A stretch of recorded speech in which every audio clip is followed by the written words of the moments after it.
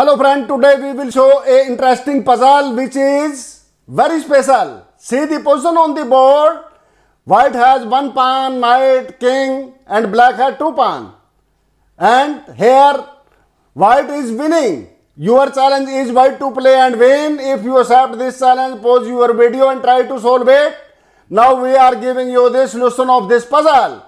Here white has two options either to play king king cross pawn f4 or to play knight here here e6 or e4 first we take if white plays king cross f4 a bad option. He cannot win like that. Let's say this is bad option then this king will go to catch this pawn king c3 then king e3 king b2 king here d3, king cross pawn, king c2.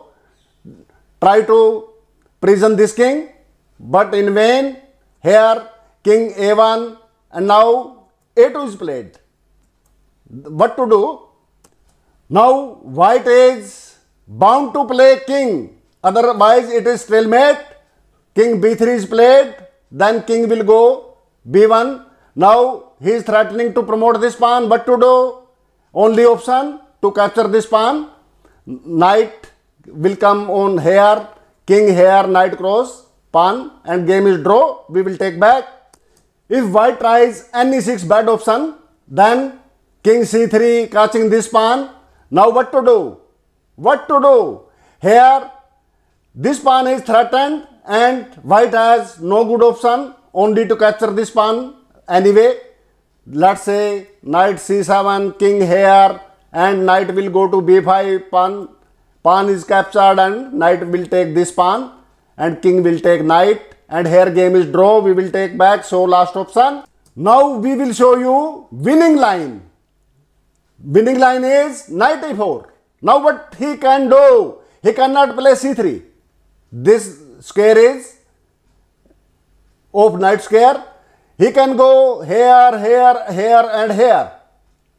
Let's say if he plays king d3, then white will take this pawn first. Then king will go to here c2. Then king will come back on e3, king b2, king d3, king cross pawn and here king c2. Now this king is in prison. What to do? Only option is king will go to a1 and here nc5. What to do if he move this pawn knight on b3 mate. So he is bound to play back. King a2 now nd3 is the answer. And here king go back. And here knight on c1 and black is forced to play this pawn only. He cannot play king. So here forced move is played and nb3 mate so by accurate play, white wins the game. If you liked the content of this video, then share with your friends. Stay tuned with Gupta Chess 15. If you have not subscribed our channel yet, please subscribe Gupta Chess 15. Thank you.